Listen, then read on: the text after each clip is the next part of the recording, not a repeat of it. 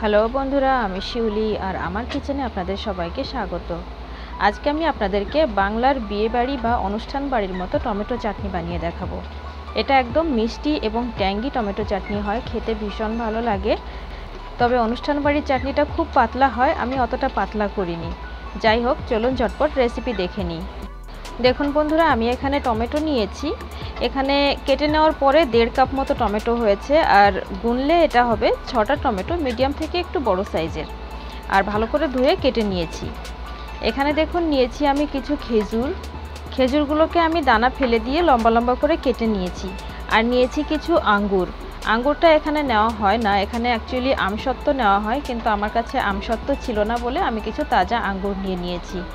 আর এখানে নিয়েছি কিছু ড্রাই ফ্রুটস, কাজু নিয়েছি, আমন্ড বাদাম নিয়েছি, আর কিছু কিশমিশ নিয়েছি, আর কিছু শুকনো নারকেল নিয়েছি। নারকেলগুলো আমি স্লাইস করে ছোট ছোট করে কেটে নিয়েছি, আর কাজু আর আমন্ড দুভাগে ভাগ করে নিয়েছি।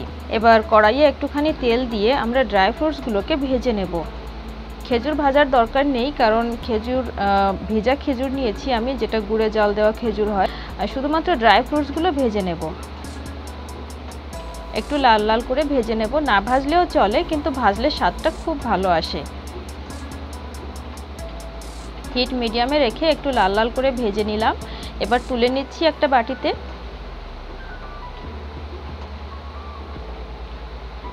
এবার এই কড়াইয়ে আমরা বাকি প্রসেসগুলো করে নেব। এবার একটুখানি তেল দেব। খুব বেশি তেলের দরকার হয় না। তেল ভালো করে গরম হয়ে যাওয়ার পরে আমরা দেব এখানে ওয়ান ফোর স্পুন জিরে। ওয়ান ফোর স্পুন সর্ষে, ওয়ান ফোর স্পুন মৌরি,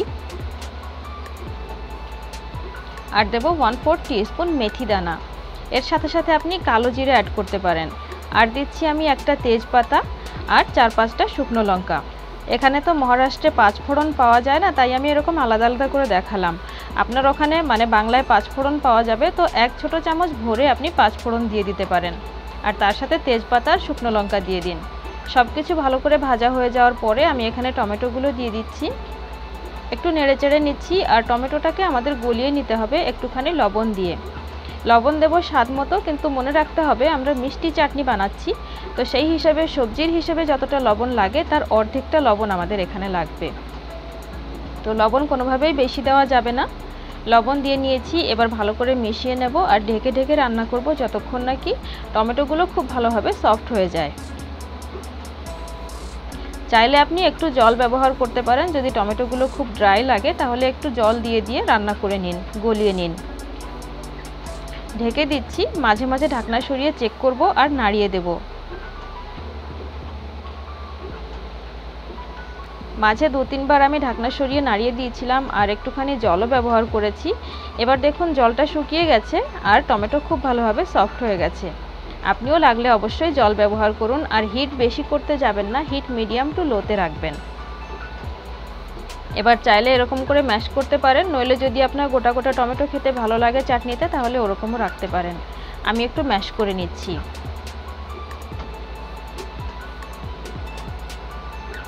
ভালোভাবে ম্যাশ করে নেওয়ার পরে এখানে আমরা চিনি ব্যবহার করব। তো দেড় কাপ টমেটোর জন্য আমি আধা কাপের থেকে একটু কম চিনি নিচ্ছি। নিজের স্বাদ মতো বাড়িয়ে বা কমিয়ে নিতে পারেন। চিনিটাকে ভালোভাবে গলতে দেব। আর চিনি ভালোভাবে গলে যাওয়ার পরে আমরা যে ড্রাই ফ্রুটসগুলো রেখেছি, ভেজে আর যে ওয়েট ফ্রুটসগুলো রেখেছি মানে আঙ্গুর আর খেজুর, ওগুলো দিয়ে দেব। সব কিছু দিয়ে দেব। তো দেখুন বন্ধুরা, চিনিটা খুব ভালোভাবে গলে গেছে। এবার চলুন ফ্রুটসগুলো দিয়ে দিই। প্রথমে আমরা দিয়ে দেব খেজুর আর আঙ্গুর। আঙ্গুরের জায়গাতে আমসত্ত্ব থাকলে অবশ্যই আমসত্ত্ব নেবেন। আমার কাছে ছিল না বলে আমি আঙ্গুর নিয়েছি। আর না থাকলে স্কিপও করতে পারেন, কোনো অসুবিধা নেই। আর এর সাথে সাথে আমরা ড্রাই ফ্রুটসও দিয়ে দেব। ড্রাই ফ্রুটস অ্যাড করার পরে আমাদের মোটামুটি এক দেড় মিনিটের জন্য কুক করতে হবে। মানে ড্রাই ফ্রুটসগুলো তো শক্ত আছে, তো এগুলো একটু নরম হয়ে যাওয়া পর্যন্ত। কিন্তু চাটনিটা যদি আপনার খুব ড্রাই মনে হয়, তাহলে আপনি একটুখানি জল দিয়ে ঢেকে ঢেকে এক দেড় মিনিটের জন্য রান্না করে নিতে পারেন। আর বিয়েবাড়ির চাটনিটা কিন্তু খুব পাতলা হয়। এবার ওখানে চিনিটাও এর থেকে একটু বেশি হয় আর একটু জলও মেশানো হয়। আমি এখানে জল মেশাচ্ছি না। আপনি চাইলে মেশাতে পারেন যদি ওরকম পাতলা চাটনি চান। একটুখানি চিনিও বাড়াতে পারেন আর একটু জলও দিতে পারেন। দেখুন, আমি দেড় মিনিটের জন্য কুক করে নিয়েছি আর এখন কিন্তু আমাদের চাটনি একেবারে তৈরি হয়ে গেছে সার্ভ করার জন্য। নেড়ে চেড়ে নিচ্ছি। আর এখন আমরা বেশিক্ষণ রাখব না, একেবারে ঝটপট হিট বন্ধ করে দেব। আর চাটনিটাকে ঠান্ডা করার পরে আমরা সার্ভ করব। কারণ এই চাটনিটা একেবারে গরম গরম খেতে খুব একটা ভালো লাগে না, ঠান্ডা হয়ে গেলে ভালো লাগে। তবে ফ্রিজে রাখার দরকার নেই। চাটনিটাকে নর্মালি ঠান্ডা হতে দিন আর তারপরে খাবারের শেষ পাতে পাঁপড় বা চিপসের সাথে সার্ভ করুন। একদম জমে যাবে। বন্ধুরা, বিয়ে বাড়ি বা অনুষ্ঠান বাড়িতে চাটনি খেতে কার না ভালো লাগে? সবারই খুব পছন্দ। আর একই স্বাদের চাটনি যদি বাড়িতে বানিয়ে খাওয়া যায় তাহলে আর কথা কি? এই চাটনিটা অবশ্যই ট্রাই করবেন।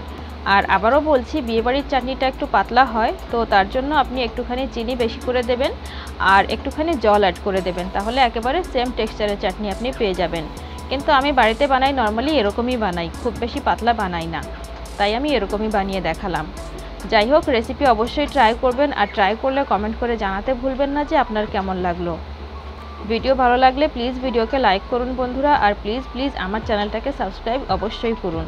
আর বেল আইকনকে অলে প্রেস করতে একেবারেই ভুলবেন না।